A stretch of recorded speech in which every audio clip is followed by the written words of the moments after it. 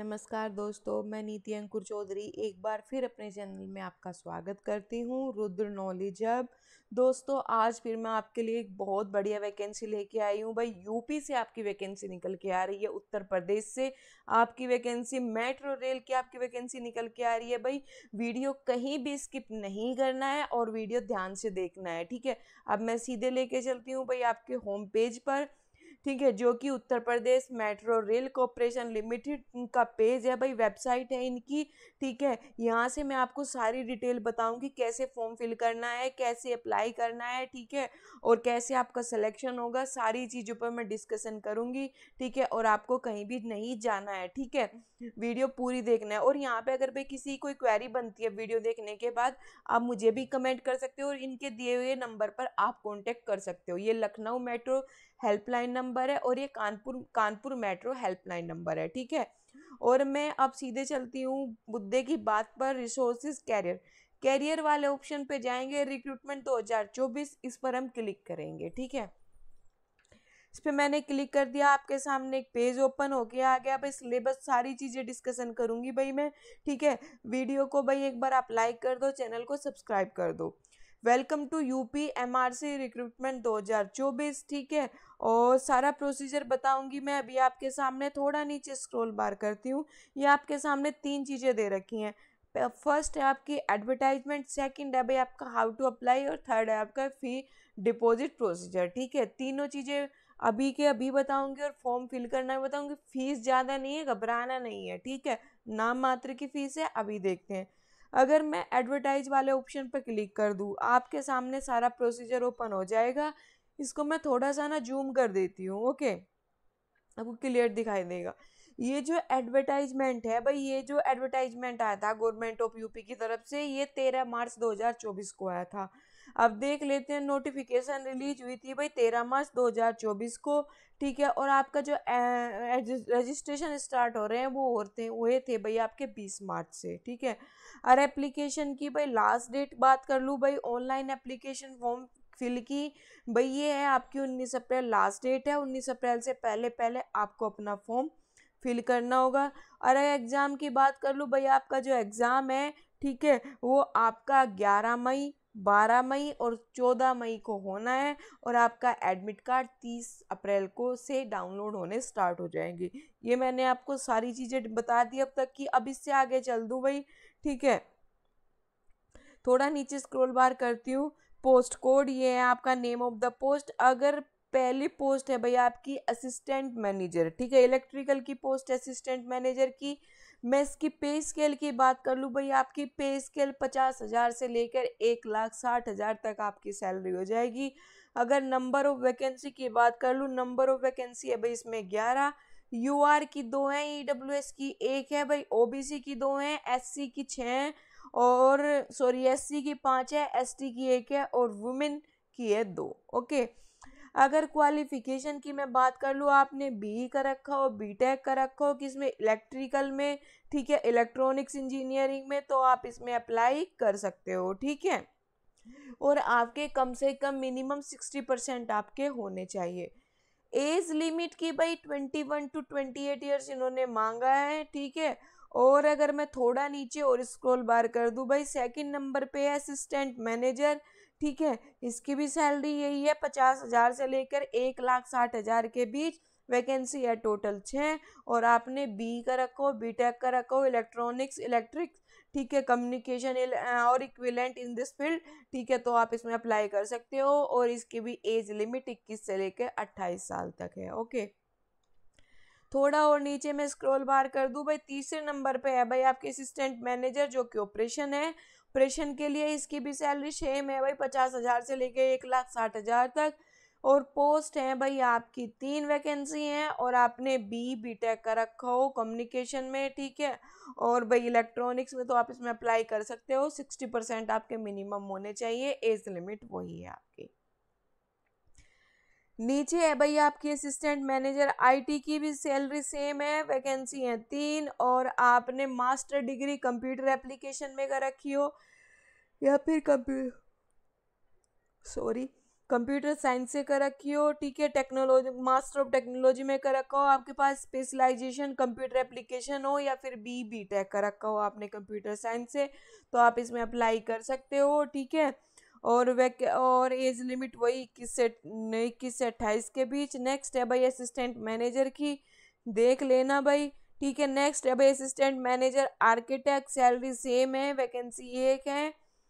और assistant manager human resources human resources H R के लिए भी भाई दो वैकेंसी है। आपने एम बी ए का रखा हो भाई एच आर से या फिर पीजीडीएम का रखो एच आर से तो भी आप इसमें अप्लाई कर सकते हैं। Next assistant manager public relation की भी एक वैकेंसी है, भाई आपने मास कम्युनिकेशन में मास्टर कर रखा हो तो आप इसमें अप्लाई कर सकते हैं। नेक्स्ट है भाई आपका असिस्टेंट कंपनी सेक्रेटरी के लिए भाई आपकी एक वैकेंसी है और आप member of the institute of the company secretary of the India with minimum fifty percent आपके मार्क्स होने चाहिए और एज लिमिट वही है आपकी। एज रिलैक्सेशन की भी बात करूँगी, वीडियो पसंद आ रही है तो भाई वीडियो को लाइक कर दो चैनल को सब्सक्राइब कर दो। आपके लिए जॉब लेकर आई हूँ भाई, ठीक है? वीडियो कहीं भी स्किप नहीं करनी है, नहीं तो आपका ही लॉस होना है, ठीक है? और एक वीडियो में मैं आपको एक एक चीज़ समझा के चलती हूँ भाई, ठीक है? वीडियो में कहीं से भी स्किप नहीं होने देती एक एक चीज़ समझाती हूँ आपकी। फिर भी भाई किसी की कोई क्वेरी बचती है तो आप मुझे कमेंट बॉक्स में कमेंट कर सकते हैं। नेक्स्ट है भाई, वो तो एग्जीक्यूटिव की थी, ये है भाई नॉन एग्जीक्यूटिव पोस्ट के लिए ठीक है, और जूनियर इंजीनियर इलेक्ट्रिकल की इसकी सैलरी हो जाएगी भाई तैंतीस हज़ार से लेकर सड़सठ हज़ार तीन सौ के बीच, और वैकेंसी है भाई इसमें एट्टी एट ठीक है, और एज लिमिट वही है आपकी। नेक्स्ट है भाई आपकी junior engineer S N T और आप देख लीजिएगा सेम इसी के लिए आ रही है स्टेशन स्टेशन कंट्रोलर ठीक है ऑफ़िस असिस्टेंट एच आर के लिए पै सैलरी है पच्चीस हज़ार से इक्यावन हज़ार वैकेंसी है चार और एज लिमिट है भाई आपकी इक्कीस से अट्ठाईस और आपने तीन या चार साल का पोस्ट ग्रेजुएशन डिप्लोमा कर रखा हो, ठीक है? किसी भी मान्यता प्राप्त यूनिवर्सिटी से और आपके सिक्सटी परसेंट होने चाहिए, ठीक है? नेक्स्ट है भाई आपकी पब्लिक रिलेशन असिस्टेंट की भी चार पोस्ट हैं भाई आपकी, ठीक है? और नेक्स्ट है, ये देख लेना आप नीचे, अगर मैं बात कर लूँ, भाई थोड़ा सा नीचे आती हूँ मैं। ये तो थी आपकी पोस्ट।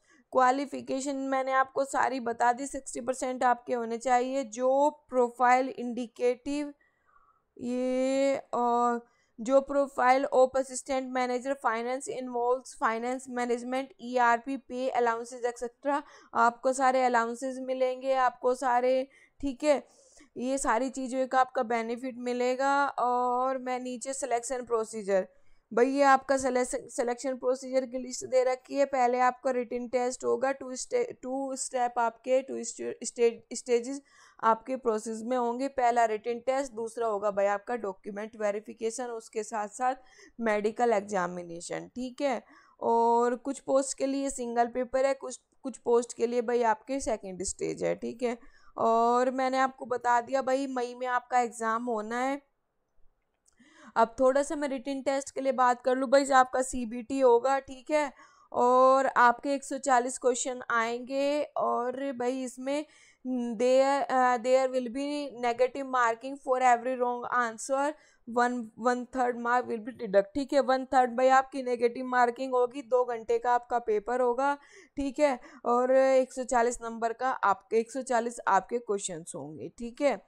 एग्जामिनेशन सेंटर की मैं बात कर लूँ भाई, आपके examination centre Agra, Bareilly, Aligarh, Ghaziabad, Gorakhpur, Jhansi, Kanpur, Lucknow, Mathura, Meerut Moradabad, Muzaffarnagar, Noida, Prayagraj, Varanasi, Ayodhya, Basti, Sitapur and any other city of UP ठीक है, जो भी आपकी रिक्वायरमेंट है, आप उसमें देख सकते हैं, ठीक है? और एक बार फिल करने के बाद आपको चेंज करने का मौका नहीं मिलेगा। और आप अपने का, और आप आप अपने डाउनलोड तीस अप्रैल से डाउनलोड कर सकते सॉरी वह आप अपने एडमिट कार्ड तीस अप्रैल से डाउनलोड कर सकते हो और आपका ग्यारह मई, बारह मई और चौदह मई को आपका एग्ज़ाम होना है, ठीक है? और भाई ट्रेनिंग में अगर मैं आपकी सैलरी की बात कर लूँ ट्रेनिंग में भाई एग्जीक्यूटिव पोस्ट के लिए आपको चौरानवे हज़ार चार सौ जी एस टी लेके आपको सैलरी मिल जाएगी भाई। ठीक है? नहीं, ये आपका bond sorry sorry for that ये आपका बॉन्ड हो जाएगा और ये सारी, भाई पे ये सारी चीज़ें दे रखी है इन्होंने, आप देख लेना। और प्रोबेशन पीरियड आपका दो साल का होगा परमानेंट पोस्ट है, ठीक है? और एज रिलैक्सेशन की बात कर लूँ भाई मैं आपकी। Upper age relaxation by five years S C S T O B C candidate of Uttar Pradesh for reserve post only if any S C S T O B C candidate avail benefit age relaxation he will be consider against reserve post only only candidate of UP domicile are enter such age relaxation जो UP के बंदे हैं, उनको पाँच साल का relaxation मिल रहा है, ठीक है? अदर अदर स्टेट वालों को रिलैक्सेशन नहीं मिल रहा है ओनली यूपी यूपी वालों को एज रिलैक्सेशन मिल रहा है, ठीक है? और पाँच साल का रिलैक्सेशन मिल रहा है। भाई, आपकी बल्ले बल्ले हो गई है, ठीक है? और नीचे क्या दे रखा है भाई आपका? यू ठीक है। और अगर मैं पेमेंट की बात कर लूँ भाई पेमेंट है भाई आपका